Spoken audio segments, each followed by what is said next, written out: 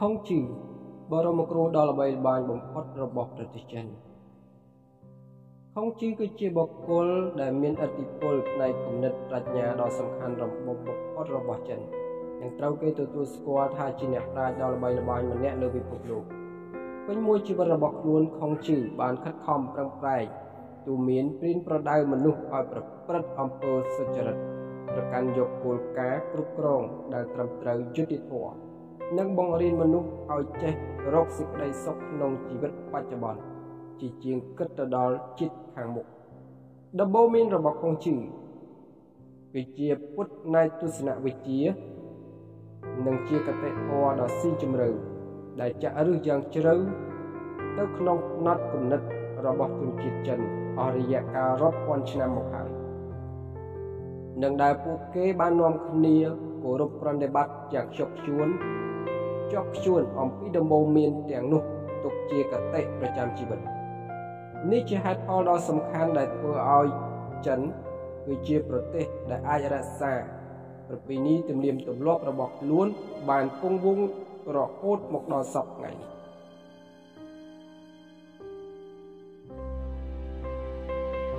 កម្ពុជាអ្នកសិក្សារៀនសូត្រខុងជឺកើតនៅឆ្នាំ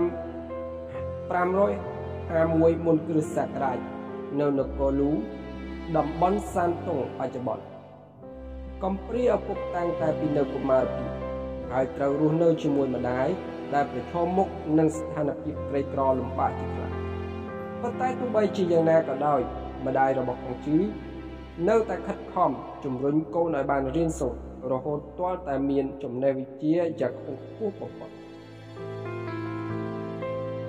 ខុងជឺគឺជាម្នាក់មនុស្សដែលស្រឡាញ់ការសិក្សាហេតុនេះហើយទើបគាត់ខំស្វែងរៀនសូត្រមុខវិជ្ជាសពបច្ចៈរួមទាំង4ពិធីខាងសាសនាចម្រៀងកំណាព្យនិង4តម្រាផ្សេងៗដែលមានតាំងតែពីសម័យបុរាណ ដោយសារតែភាពវៃឆ្លាតនេះហើយធ្វើឲ្យខុងជឺមានឈ្មោះល្បីល្បាញអាចជាអ្នកដែលប្រកបដោយចំណេះដឹងសពគ្រប់បែបយ៉ាងសរសៃគ្រប់ទិសទីតាំងតែពីអាយុមិនទាន់ទៅដល់20ឆ្នាំដល់បង្កើតសាលារៀនឯកជនមុនគេបង្អស់ពេលមានអាយុ30ឆ្នាំហុងជឺបានបង្កើតសាលារៀនឯកជនមួយកន្លែង ដែលជាសាលារៀនឯកជនដំបូងគេបង្អស់នៃប្រទេសចិនការបង្រៀនរបស់ខុងជឺបានផ្លាស់ប្ដូររូបភាពការសិក្សាដែលខុសស្រឡះពីមុនធ្វើឲ្យប្រជាជនចិនញាក់រលឹកនាំគ្នាយកចិត្តទុកដាក់នឹងការសិក្សាព្រមទាំងវប្បធម៌ជាខ្លាំងខុងជឺបានប្រើវិធីសាស្ត្រដ៏សាមញ្ញក្នុងការទទួលសិស្សចូលរៀនដោយគ្រាន់តែជូនរបស់បន្តិចបន្តួចសម្រាប់ថ្លៃសិក្សាតែប៉ុណ្ណោះ ការគ្រប់គ្រងនេះហើយកូនសិស្សរបស់ខុងជឺភាគច្រើនទទួលបានចំណេះដឹងយ៉ាងខ្ពង់ខ្ពស់ស្ទើរតែគ្រប់ផ្នែកខុងជឺពេញចិត្តនឹងអាជីពរបស់ខ្លួនជាខ្លាំងគាត់បានខិតខំពុះពៀអស់ពីកម្លាំងកាយចិត្តក្នុងការបង្ហាត់បង្រៀននិងកំណត់បទបញ្ជាចំពោះសិស្សយ៉ាងតឹងរ៉ឹងរហូតធ្វើឲ្យសាលារៀនរបស់គាត់សម្រេចជោគជ័យយ៉ាងខ្ពង់ខ្ពស់ និងទទួលបានការគាំទ្រយ៉ាងខ្លាំងពីសង្គមចិននាសម័យការពារប្រទេសជាតិនិងជួយប្រជាជនព្រះរាជាខុងជឺមានបំណងចង់ជួយអភិវឌ្ឍទឹកដីនគរលូឲ្យកាន់តែរឹងមាំនិងរីកចម្រើនប៉ុន្តែគាត់ហាក់មានឱកាសទាល់តែសោះព្រោះតែដោយសារតែពួកអស់លោកមន្ត្រីចំណិតនឹងព្រះរាជាតែតែនិយាយមូលបង្កាច់ពីគាត់ក្នុងផ្លូវមិនល្អជាប្រចាំ ធ្វើឲ្យខុងជឺទទួលបានតំណែងតាំងតែជាមន្ត្រីថ្នាក់ទៀតជារៀងរហូតមកលុះរហូតដល់ខុងជឺអាយុ51ឆ្នាំទើបគាត់ទទួលបានព្រះរាជបញ្ជាឲ្យមើលការខុសត្រូវក្នុងព្រះរាជនីក្រោយពីព្រះរាជាទតឃើញស្នាដៃដ៏ជោគជ័យទាំងឡាយរបស់គាត់ទើបព្រះអង្គទ្រង់ព្រះរាជទានភារកិច្ចសំខាន់សំខាន់ដល់ខុងជឺ កាន់តែច្រើនឡើងច្រើនឡើងបន្ថែមទៀតជាហេតុធ្វើឲ្យនគរនោះរីកចម្រើនយ៉ាងឆាប់រហ័សហើយអ្វីដែលសំខាន់បំផុតនោះគឺគឺបានជួយស្រោចស្រង់ព្រះជន្មព្រះរាជាឲ្យរួចផុតពីចំណុចខ្មាំងរបស់ប្រទេសជិតខាងដោយសារតែភាពអ៊ីស្លាមរបស់គាត់ក៏ទាំងរកដំណោះស្រាយក្នុងហេតុការណ៍នេះដោយស្ងប់ពុំមានការបង្ហូរឈាមអ្វីឡើយទ្រឹស្ដីរបស់ខុងជី ខុងជីជានិមិត្តរូបដ៏សំខាន់បំផុតនៃវប្បធម៌បុរាណរបស់ប្រទេសចិនគាត់ពុំមែនត្រឹមតែជាអ្នកប្រាជ្ញខាងប្រវត្តិសាស្ត្រប៉ុណ្ណោះទេគាត់ក៏ជាទស្សនវិទូផ្នែកនយោបាយនិងសិលធម៌ដ៏ល្បីល្បាញម្នាក់ផងដែរគាត់បានចំណាយពេលវេលារហូតដល់30ឆ្នាំក្នុងការត្រាច់ចរទៅគ្រប់ទីតំបន់នានាដើម្បីផ្ដល់ជាគំនិតយោបល់និងវិធីសាស្ត្រផ្សេងៗ ដល់បណ្ដាអ្នកគ្រប់គ្រងនិងអ្នកជឿគោរពទៅមុខលើគាត់ក្រោយពីដែលគាត់ទទួលអនិច្ចកម្មទៅទ្រឹស្ដីបង្រៀននៅតាមសាលានានាដែលគាត់បានបង្កើតឡើងមកនោះគឺជាអាវុធ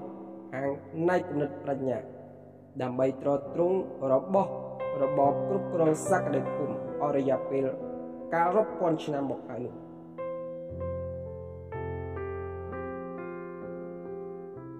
ទើបបានជាទ្រឹស្ដីខុងជឺមានឥទ្ធិពលជាខ្លាំងដល់របបគ្រប់គ្រងរបស់ប្រទេសចិនបណ្ដាកូនសិស្សទាំងឡាយបានយកទ្រឹស្ដីរបស់ខុងជឺចងក្រងជាសភៅមួយក្បាលដែលមានចំណងជើងថាលុនវីដែលក្រោយមកសភៅនេះគឺជាប្រភពនៃទិន្នន័យដ៏សំខាន់សម្រាប់សិក្សាស្រាវជ្រាវអំពីទ្រឹស្ដីខុងជឺនេះឯង យុគសម័យដ៏រុងរឿងនៃទស្សនវិជ្ជារបស់ប្រទេសចិនតាំងតែពីរានតាំងតែពីបុរាណកាលមកទស្សនវិជ្ជាចិនឈរនៅលើការជួយគ្នាទៅវិញទៅមកព្រោះជនជាតិចិនចូលចិត្តគោរពប្រតិបត្តិតាម និងមានមនសិការសង្គមខ្ពស់ទើបបានជាទ្រឹស្ដីនៅគ្រប់អធិពលនានារបស់ចិនសុទ្ធតែបង្រៀនឲ្យចេះអំពីការប្រើជីវិតក្នុងសង្គមគឺ ជីវធម៌ផ្ទាល់ខ្លួននិងគោលការណ៍នៃការគ្រប់គ្រង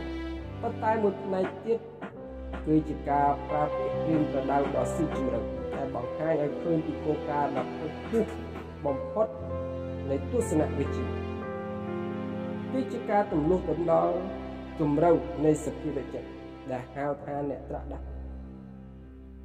ទស្សនវិជ្ជាចិនទាំងពីរផ្នែកនេះបានរីកចម្រើនទៅរកទស្សនវិជ្ជាពីរបែប ដែលបែងចែកដាច់គ្នាស្រឡះគឺលទ្ធិខុងជីនិងលទ្ធិតៅរបស់ឡាវជីមាគ៌ារបស់ខុងជី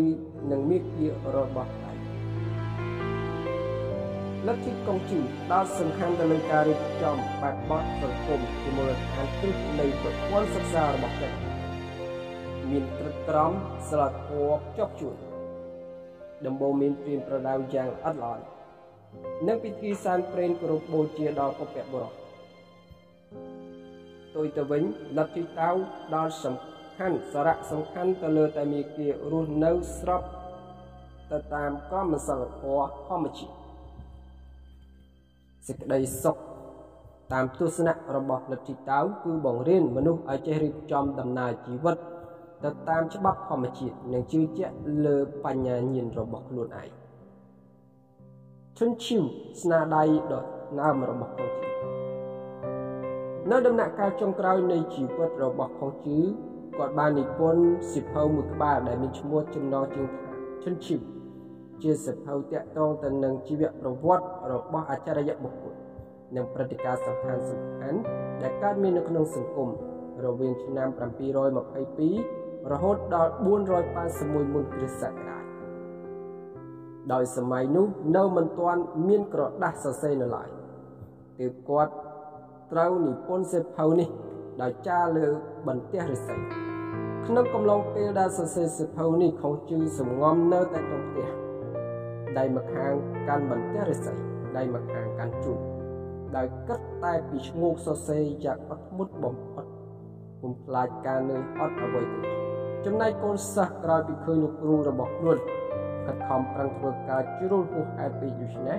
ពួកគេក៏សុំចូលខ្លួនមកជួយសរសេរតែត្រូវគាត់បដិសេធនិងឆ្លើយតបទៅវិញថាមិនបានទេរឿងដែលយើងកំពុងសរសេរនេះ គឺជារឿងរ៉ាវរបស់អ្នកស្លាប់ទៅហើយយើងចង់បន្ថែមគំនិតខ្លះខ្លះទៅក្នុងរឿងនោះមានគិតថាអ្នកចំនួនមុននិងអ្នកចំនួនក្រោយនឹងបានយល់ពី ឬក៏អាចនឹងបន្ទោសយើងផងដោយសារតែការខិតខំប្រឹងប្រែងអស់ពីកម្លាំងកាយចិត្តរបស់អង្គទីទើបសិភៅមួយច្បាប់នេះជាសិភៅប្រវត្តិសាស្ត្រដែលមានលក្ខណៈត្រឹមត្រូវសុក្រិតបំផុតលទ្ធិកុងឈីនៅតៃវ៉ាន់នៅក្នុងសម័យបច្ចុប្បន្ននេះទស្សនៈនិងវិធីគិតរបស់ ប្រជាជនចិនដីគោកត្រូវបានផ្លាស់ប្ដូរដោយសារតែការគ្រប់គ្រងដោយរបបកុម្មុយនីសដែលជាហេតុធ្វើឲ្យអ្នកនឹកអតិពលនិងទស្សនវិជ្ជារបស់ខុងជឺដែលធ្លាប់តែដិតដាមចំពោះប្រជាជនចិនកាលពីសម័យមុននោះត្រូវបានប្រមូលផ្ដុំមកផ្សព្វផ្សាយនៅតៃវ៉ាន់ទៅវិញបីបាត់តែសិទ្ធិកិច្ចនយោបាយមានការផ្លាស់ប្ដូរយ៉ាងខ្លាំងហើយក៏ដោយតែវប្បធម៌និងទំនៀមទម្លាប់របស់ប្រជាជនចិន នៅតែពុំមានអ្វីខុសប្លែកពីអតីតកាលប៉ុន្មានឡើយដូចជាការសែនពេនដល់ពុព្វបុរសជាដើមទស្សនៈរបស់កងជឿប្រៀបដូចជាចំណោជើងដែលចោបជាប់ប្រជាជនចិនឲ្យវិញបញ្ចូលគ្នាក្នុងសង្គមតែមួយលទ្ធិកងជឿមិនមែនជាសាសនាទេ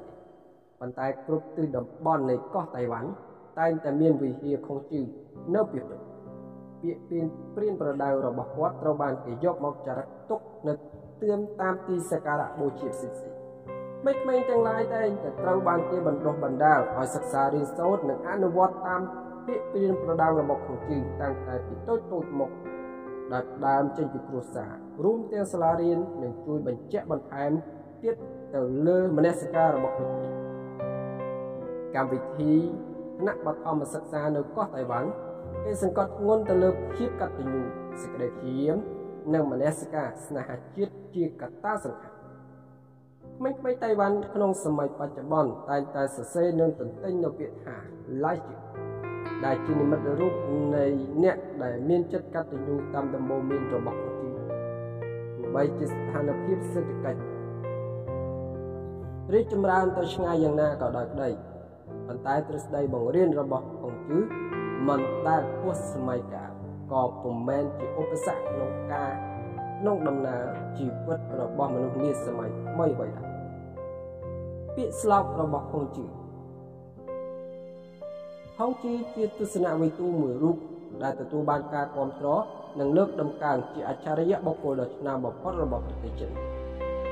ខុងជីបានបង្ហាញទស្សនៈរបស់គាត់តាមរយៈពាក្យស្លោកមួយចំនួន ដែលសុទ្ធតែជាពាក្យស្លោកដែលមានអត្ថន័យនិងមានលក្ខណៈអប់រំដ៏ជ្រាលជ្រៅបំផុតទី1គ្រាន់តែនឹងខ្ញុំនឹកបើបានឃើញខ្ញុំនឹកចាំបើបានធ្វើខ្ញុំនឹងយល់ទី2គោលដៅរបស់អ្នកដែលមានឧត្តមគតិពុះគឺសច្ចធម៌ទី3ភាពល្ងងខ្លៅជារិត្រីកាលក្នុងចិត្តតែវាជារិត្រីដែលគ្មានប្រច័ណ្ឌនឹងដួងតារាទី4 រៀនតែមិនព្រមគិតគឺខូចគិតតែមិនព្រមរៀនគឺគ្រូ5អ្នកដែលពូកែនិយាយបញ្ចាស់បញ្ចាលើកជើងបញ្ជូនមានតែគូណាស់